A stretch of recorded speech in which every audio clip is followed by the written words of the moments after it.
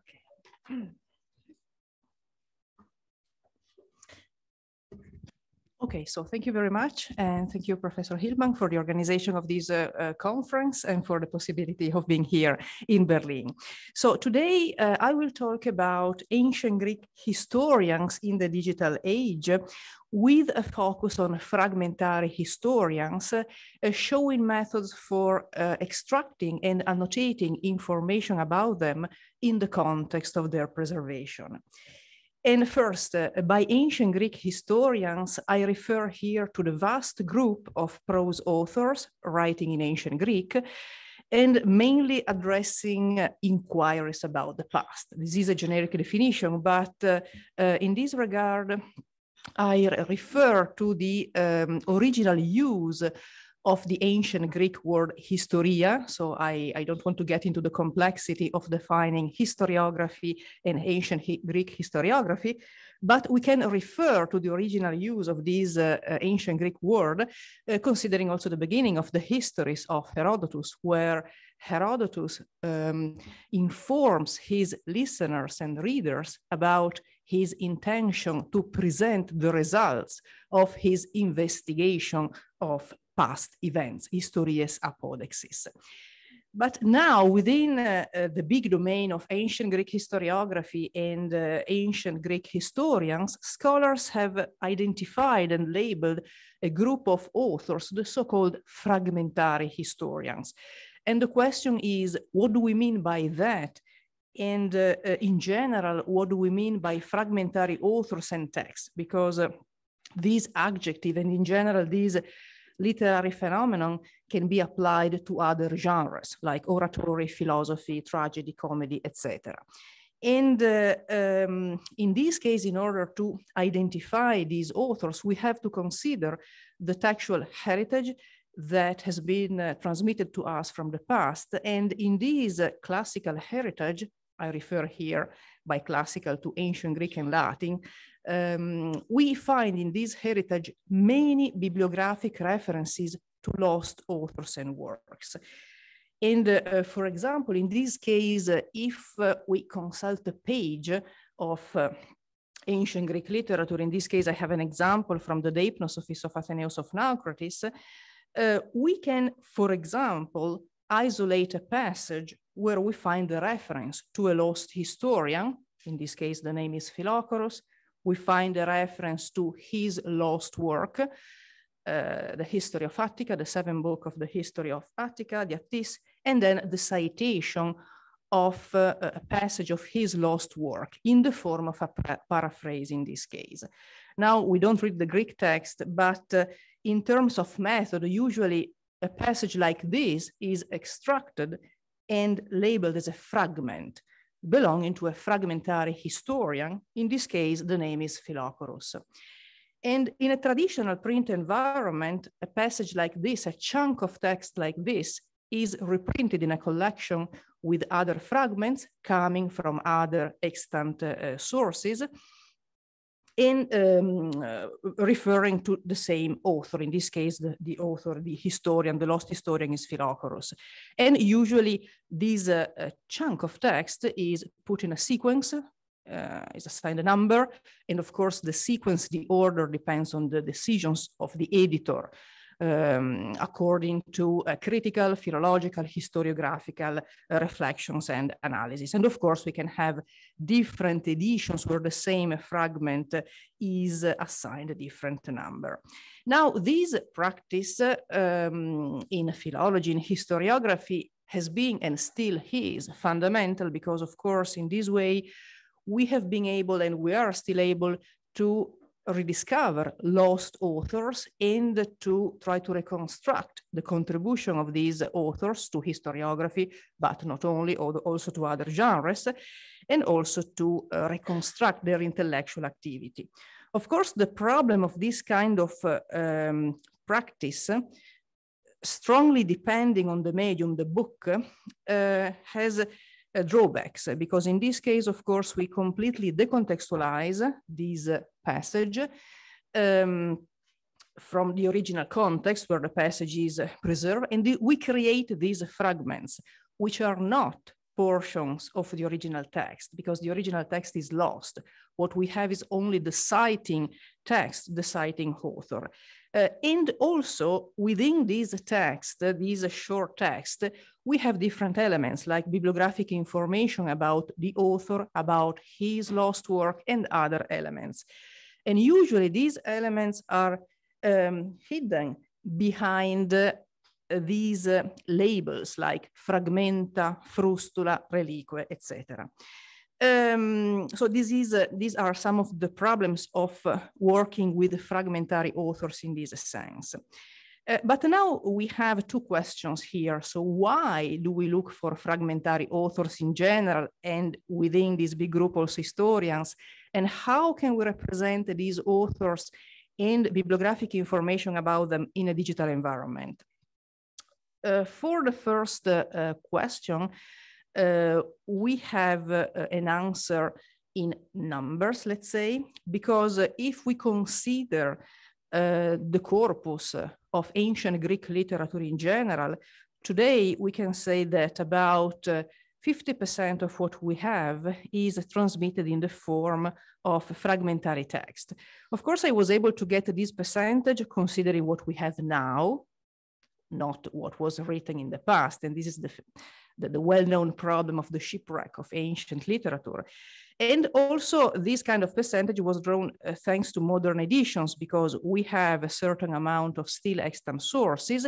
And thanks to this work of looking for traces of lost authors, we are able to get percentages like this, but we strongly depend on modern editions, modern print editions. So I'm very well aware of the, uh, the limits of these percentages. But still, then within the group, big group of fragmentary authors, uh, we see that most of them are completely lost because we also have examples of authors whose works are partially preserved. For example, for tragic playwrights or comic playwrights in ancient Greek literature, some of their tragedies or comedies are preserved, other not. But most of them are completely lost. And then finally, given that this uh, context is about history, digital history, and we talk about historians, we see that in the big group of fragmentary authors for ancient Greek literature, uh, historians cover a good percentage, about 24.5%. Again, the, I was able to get this percentage considering our classifications of ancient authors. Today, we can identify a big group of authors as historians. And today in digital libraries, we have corpora of ancient Greek literature with metadata. And so we can identify this group. But there are many limits, I have to say, because within the group of historians, we can find many subgenres. And definitely there are many limits to apply modern categories to ancient authors because there are many authors who can be labeled as historians, but they overlap with other uh, genres. But anyway, so this is where we are now. So if we want to defend uh, projects for working on fragmentary literature, definitely we have good uh, arguments. But the second, uh, but this is what we have uh, now uh, today. And then how can we represent these fragments in a digital environment and information about these authors?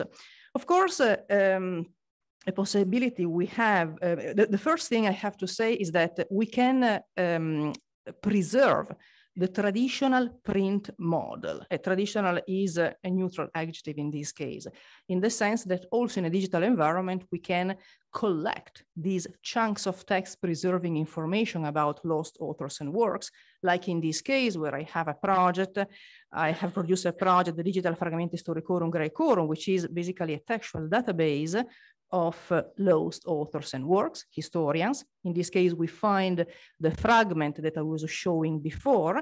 Of course, in a digital environment, to summarize, we can have uh, extended features. For example, here we can uh, analyze, we can produce the linguistic analysis of each fragment for different purposes, not only for analyzing the language of those authors and of their witnesses, but also for other um, purposes in NLP for historical languages. And a project like this um, has also connections with other collections of fragmentary authors, metadata from library systems, etc. And in this project, there are also other things like charts, maps, text reuse detection experiments, etc.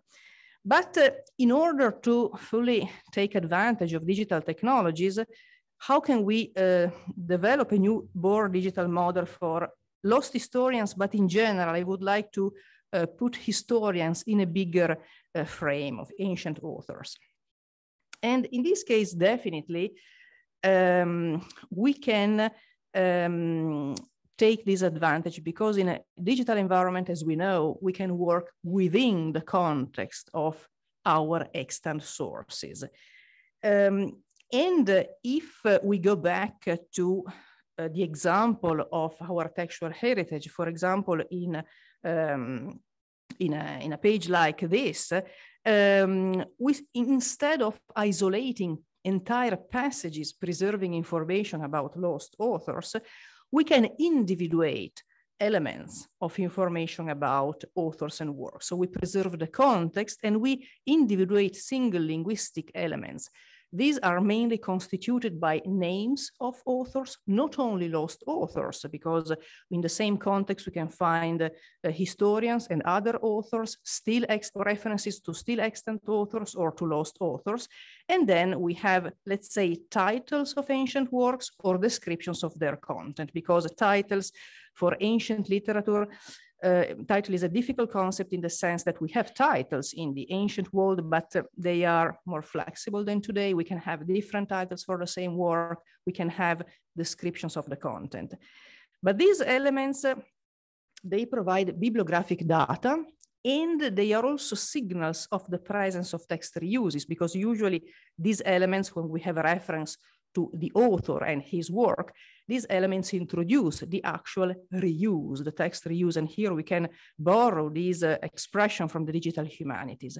And in this project, I'm not working on that part. I'm also not working on uh, uh, stylometry, on identifying genres of authors, but on exploring the language of ancient or, or sources to refer to these bibliographic resources. Um, and today is possible to do that because uh, we have different methods in terms of uh, linguistic analysis and annotation. And the problem is that for ancient Greek, we still have a lack of data, even if we already have linguistic annotations, especially for these categories proper names. Within we find names of authors and let's say titles of ancient works. But in this case, I have been experimenting and I'm doing name entity recognition and annotation uh, because uh, we can use this uh, uh technique for, uh, for trying, for beginning to structure our uh, corpus of ancient Greek literature and individuate these explicit elements, as I say. Of course, in, the in a context like this, we can find other elements like verba dicendi, introducing, of course, uh, the citation, the actual text reuse, or uh, also other uh, elements uh, concerning also genres. But uh, so far, considering the situation, so this is really practice uh, of digital philology, we begin to create data because we don't have them, this data. And name entity recognition is a, a, a, method which is working so far. So basically, starting with basic methods, of course, we can tokenize our text, we can individuate inflected forms, because as you know, ancient Greek is an inflected language, and we can lemmatize um, these forms. For example, in this case, I have a, a, screenshot from a resource which is available online where we have inflected forms corresponding to proper names in ancient Greek and their uh, the lemmatization of these forms. Because of course, through lemmata, we can experiment, uh, we, we can experiment with uh, a first level of disambiguation of these uh, proper names. Today we have authority lists, for example, for personal names in ancient Greek, for geographical places in gazetteers, but the problem is, this, is that these resources, and I have um, a selection with icons on the right of this slide, the limit is that in this case, uh, most data is in Latin or in contemporary languages, modern languages, not in ancient Greek. Um, but we can begin to use a method, and I have done that for a first disambiguation between uh, personal names and place names. And for example, for the first part of the work, uh, focus on the Deipnosophists of Athenaeus um, of Naucratis, we can begin to individuate uh, generic name entity classes like personal names, locations, organizations, and derivatives. Within, of course, these classes, if we go into the text, we can individuate many other subclasses. But I think that for the for first results, it's important to work at the first level, let's say these generic name entity classes. Uh, and for example, in terms of uh, um, experiments I have done, uh, considering that we also have problems of uh, automatic lemmatization, uh, even if we have lemmatizers today for ancient Greek. For example, for personal names, we can uh, individuate a good percentage. For geographical places, the situation is a bit different. Not to speak of ambiguities. There are names in ancient Greek that can be both a personal name and geographical places. And in fact, in order to move to a second level of disambiguation, we definitely have to go back to the context. And here we have various, various possibilities. Here I'm showing screenshots of tools available online. Of course, there, are, there is data behind, but for example, through concordances like this, this is a dedicated concordance. Today, we can generate quite easily concordances, but this is a dedicated concordance because we can focus on proper names in the context. For example, Hellanikos is a personal name in ancient Greek, but then in specific context is also the name of an ancient Greek historian.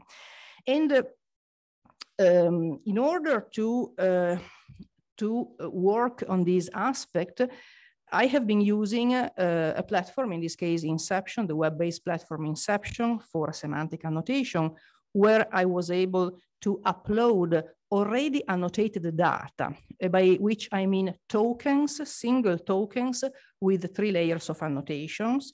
Uh, in the first case, the yellow one is the layer of uh, uh, name entities. The green one is the lemma in ancient Greek. And then there is a, a third layer, the purple layer, which is a custom layer. And I call it a catalog, where we can disambiguate those elements in the text uh, that uh, are about bibliographic information, like names of authors in the text, and also uh, titles or descriptions of the content of works.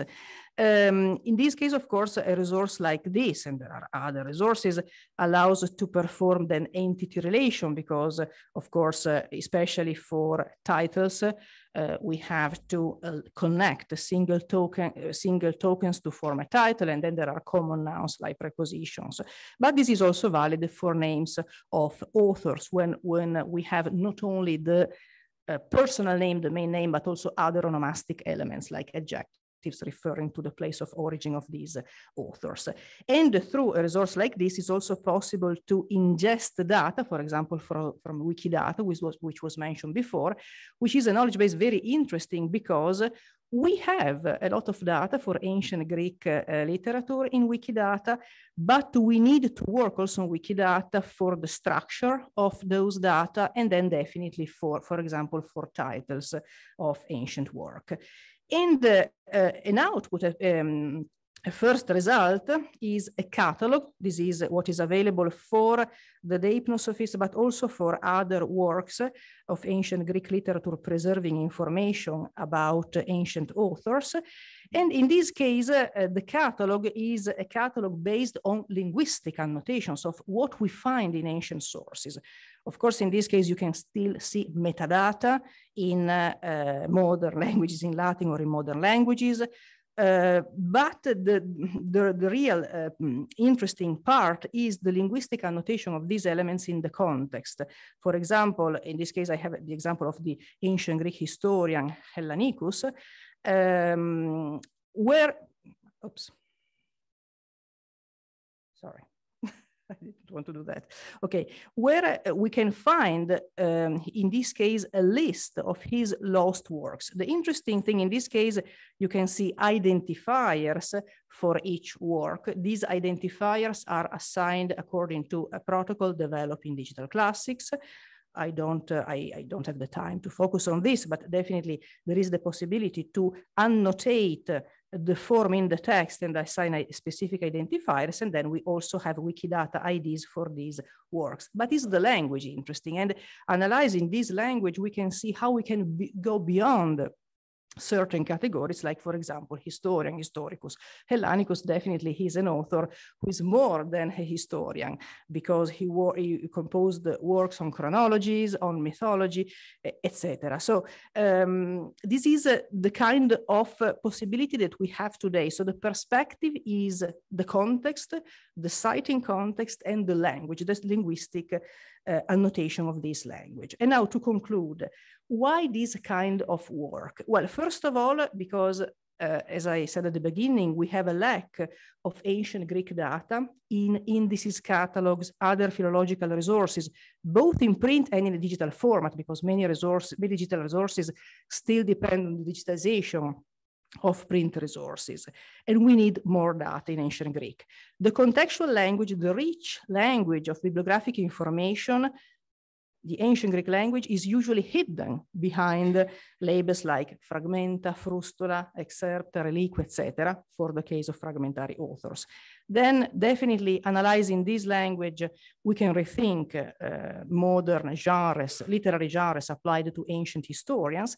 And then there is this framework we have to put our work. So we can benefit from technologies of NLP applied to historical languages, but we can also contribute to NLP for historical languages, producing more, more data, which is definitely necessary today, and also by providing complex examples like the language for referring to um, ancient authors and works in our uh, literature. So I, uh, uh, for self-promoting, you can find more information about uh, these projects and other connected projects in my publications. And I thank you very much for your patience and I look for the discussion.